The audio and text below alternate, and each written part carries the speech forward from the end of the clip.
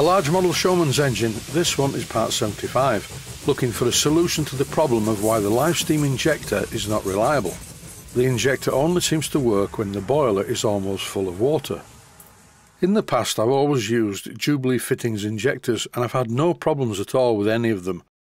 This traction engine uses a number 8 Jubilee fittings injector and I even bought another one thinking that the one that was fitted on the engine that was quite an old one may have been faulty but it turned out that it wasn't and they both worked fine. Having conversations with a few people who are definitely in the know, the man from John Rex, David English, John Holroyd and a few others, all pointed me in the right direction. The final conversation took place with David English, who asked me where the check valves were on the boiler. As David and I were having this conversation, suddenly the penny dropped. The water rushing into the boiler is cooling the steam because the position of the check valves on this boiler are a bit high. And as the cold water rushes into the steam space, it condenses the steam, and this condensate gets carried down the pipe which feeds the injector with steam, and the injector knocks off. Here's an excerpt from the end of part 66, which was a live steam test, and in this clip, when the boiler was almost full anyway, the injector suddenly started working. You don't have to take my word for it, here is the video. I'm going to leave you with this image of the injector actually injecting. The reason it knocked off here was the boiler was full. So full in fact that the water was being carried into the cylinder and here it is rushing up the chimney. In this clip you can see that the check valve is not on the centre line of the boiler. This is more common. It's on the top part of the boiler. So as you can see any water being injected into the boiler is going to be generally above the level of the water in the boiler. In the last episode, I threaded and fitted a small piece of pipe to extend the feed from the check valve further down into the boiler, but this pipe was too thin and soon fractured.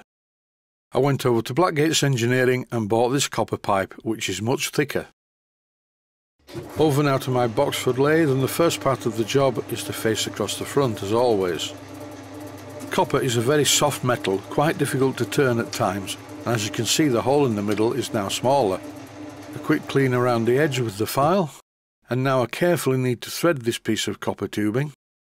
And my weapon of choice for this is a die holder fitted with a 5 16 by 32 threads per inch die. When I threaded the tube I used plenty of cutting lubricant and I've also applied quite a lot of cutting lubricant for the drilling operation. I'm drilling out the tube to 7 seconds of an inch in diameter. The swarf comes off in one continuous length.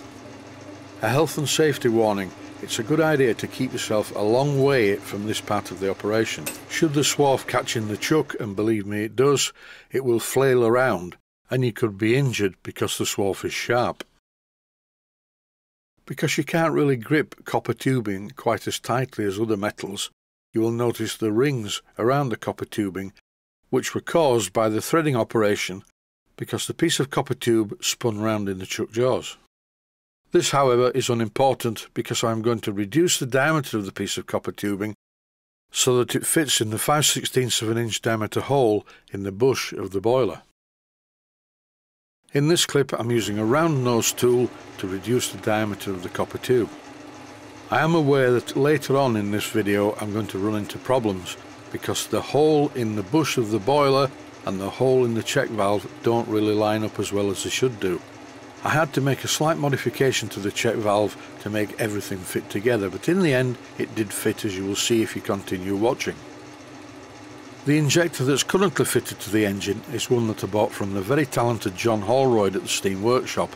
It's very scale and looks great, but I'm going to have to modify the piping to make it work and you will have to believe me, but fitting the long piece of 3 eighths of an inch diameter pipe from the check valve on the boiler underneath the engine to the other side where the injector is, is not going to be an easy job because I'm doing it single-handed. I really need another person at the other side, but it's very difficult in this small village to find anybody.